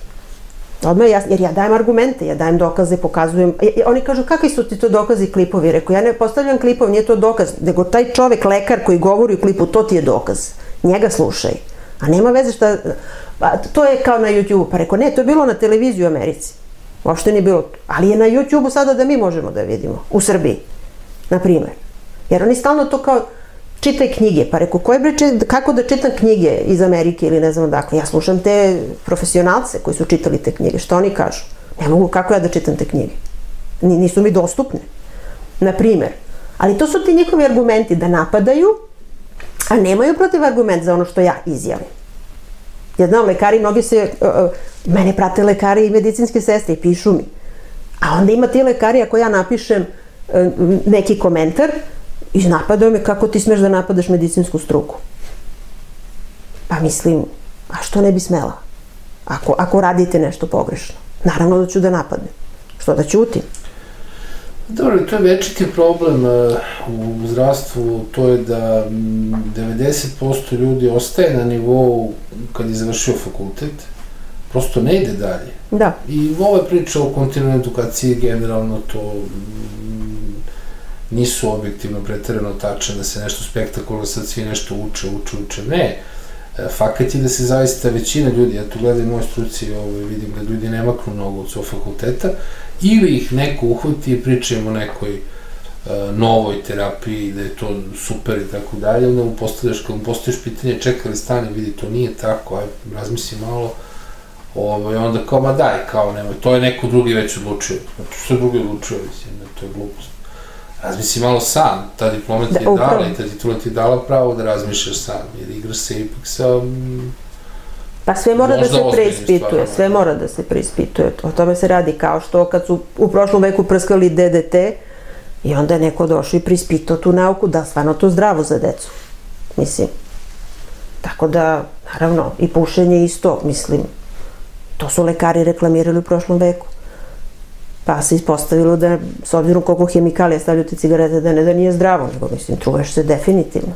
Tako da ovaj, sve mora da se preispituje.